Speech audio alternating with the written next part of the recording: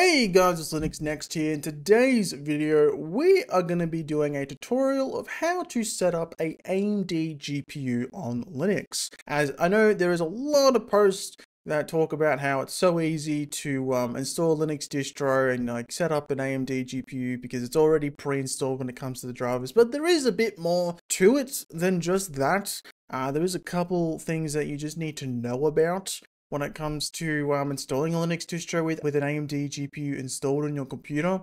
So we're going to go over and explain all of that and how to, you know, pick a correct distro when it comes to the hardware, the AMD GPU that you're using. So the very first thing that we need to discuss is two drivers, just so you understand these two drivers. The uh, first one is the AMD GPU kernel driver. Now this driver, as it says, kernel, so it's in the Linux kernel. And then there is a user space driver called Mesa or Mesa. I call it Mesa, some people call it Mesa.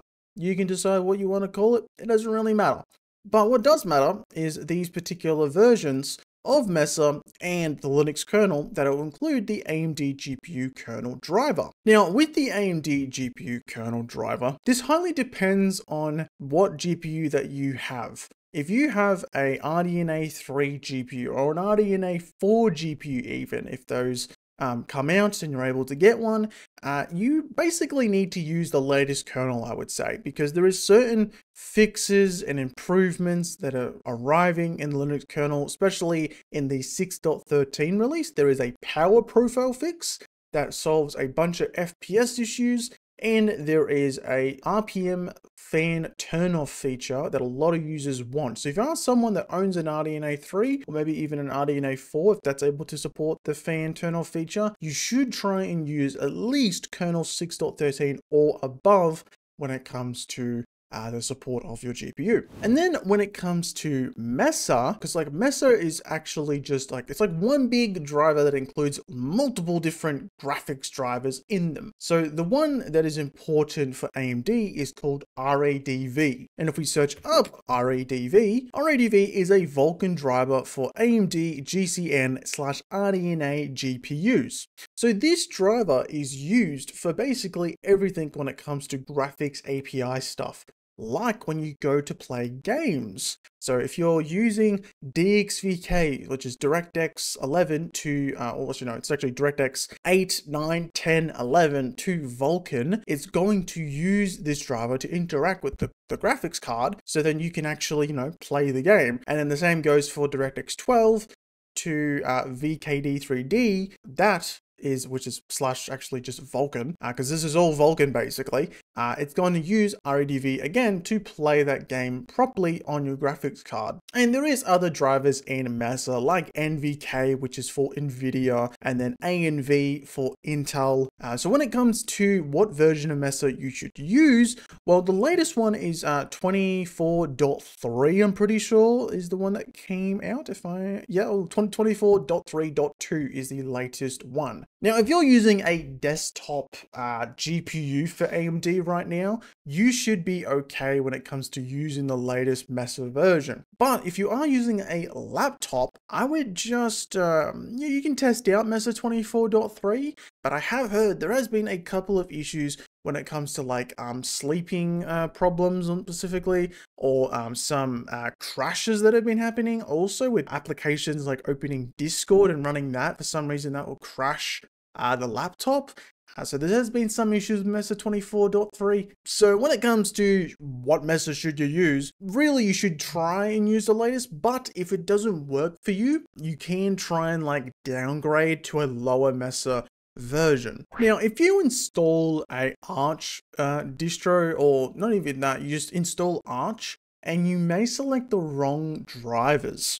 Uh, because when you install Arch, if you do it the wrong way, I guess you could say, on like an install script, it might install the AMD VLK driver, which is another open source driver for another open source Vulkan driver for AMD, but it's not the same as RADV for Mesa. So you definitely do not want to be using this, I would say, when it comes to compatibility with games. I have tested it, and it does work well, but RADV does work better just because there's more contributions going into that driver than it is with VLK, uh, and especially companies like Valve engineers that are working super hard on RADV because if you don't know, RADV is used on the Steam Deck or even on Steam OS in general. So if you're using a specific handheld that use AMD, uh, let's say like the new Lenovo uh, Go uh, Legion Go S, that's coming out, that is also going to use RADV because it's using AMD hardware and it's going to be using SteamOS. So it's going to be using RADV. And there is one more driver, which is called the AMD GPU Pro driver. Now, the only reason I would install this driver is if you want to use like HIP and like AMF and ROCm. Now, you don't necessarily need to install this driver to get some of that functionality like ROCm. You can get ROCm working uh, with a specific package. I forgot what it was called, but it, there is a package for this. If I remember it, I'll comment down below or in the description of how to install it. It's pretty easy. It's basically like a side package and it gets things working like in DaVinci Resolve, for example, if you want to get like hardware acceleration and all that stuff, uh, or in like Blender, for example, to use like HIP and all that, that brings that functionality. But this driver, you don't really necessarily need it. Uh, but if you are into like the whole enterprise world of things, uh, like it says here, like AMD GPU Pro Vulkan required dependency for AMF, uh, which is an encoder, AMD GPU Pro OpenCL used because Mesa OpenCL is not fully complete, proprietary component only for Polaris GPUs. The onward GPUs use the Open ROCm OpenCL, which is like I said, there is a specific package for ROCm to bring that functionality for you without having to install the AMD GPU Pro driver. Now, when it comes to what distro should you install, uh, I would say if you're on like an RDNA 2 or below GPU, you can install basically any distro except like Debian or any like LTS distro. I wouldn't recommend any type of LTS or slow releasing distro uh, just because they have a pretty old kernel and Mesa. So when it comes to compatibility, it you might be missing a couple of things and you'll be like, what the hell, where are these things? Or performance might not be on par. There might be some power profile issues, stuff like that, where you're not going to get the best experience when it comes to like playing games, for example. So I would say a distro like Nobara, for example, that is a well-known distro that you can um, install. It sets up everything for you. Uh, of course, on an AMD card, everything's already like set up for you, but it is a Fedora based one, so it does pre-install like the right codecs for you, or like video codecs, uh, because if you use normal Fedora, you might have some issues when it comes to specific like codec issues or uh, some Mesa packages that removed some functionality uh, because it's like proprietary stuff and Fedora wants to be as open source as possible. So like Nobara does solve that. Another one is uh, Bazzite, of course. this is a immutable uh, Linux gaming distro. It is used on a wide variety of hardware, like handheld devices. If you ever want to like uh, get away from Windows on a handheld, you would install something like Bazzite because they have really good support when it comes to handhelds, like third-party support for handhelds, as, as you can see here. But you can also set it up as a desktop PC or a home theater PC if you want to. And if you want to go to the Arch realm of things, you can either just install Arch with the Arch install script, which is a little bit advanced. Um, you know, it's basically all text-based when you're installing it, so there's no special like GUI install or anything. Um, you have to figure that all by yourself when it comes to installing Arch that way. But if you want to install it like an Arch derivative, like Arch based, uh, there is uh, CachyOS, there is Endeavour OS. These distros are really good when it comes to uh, providing the latest packages on Arch and like CachyOS, they have their own, um, they package like AUR packages, uh, which are community made uh, packages, uh, but it's all it's already like compiled for you. Um, another one is like Garuda, I think it's called Garuda Linux. I think I spelled that wrong. I did. Uh, another pretty alright Linux distro, I would say. It is a bit customized, I would say, when it comes to the theme.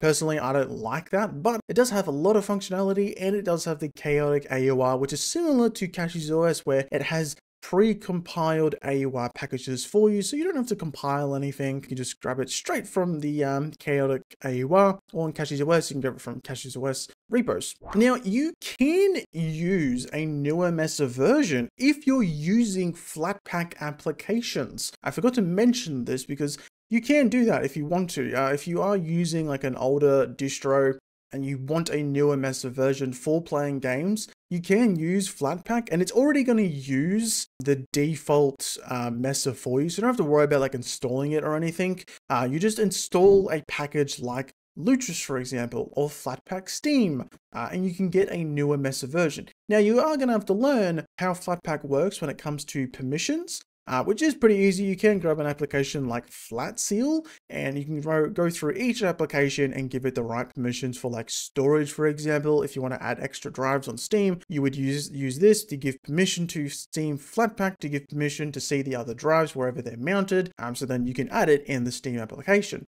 Uh, but if you want to use a newer Mesa version, uh, the best way about it uh, on an older distro, if you want to get better um, compatibility with games is to use Flatpak in my opinion. And then if you want to overclock your GPU, I think the best application for that is called Lact. And if we do go to uh, to the GitHub here, you can see uh, that this GUI application allows you to look at the GPU info, like your model, manufacturer and all that, and you're able to overclock it easily. And it's pretty easy to install, I would say. You can just go to the releases tab here, scroll down to wherever the releases are, and you can grab whatever distro that you're using. So if you're on Fedora, let's say Fedora 41, you would grab the .rpm version for Fedora 41 on x86 underscore 64. If you're on OpenSUSE Tumbleweed, you would grab this one. If you're on RHEL, if you're on Ubuntu, if you're on, I think, Debian also. And then if you're on Arch, it's already going to be in the repo. So you can just do paru um, lact and it should be available as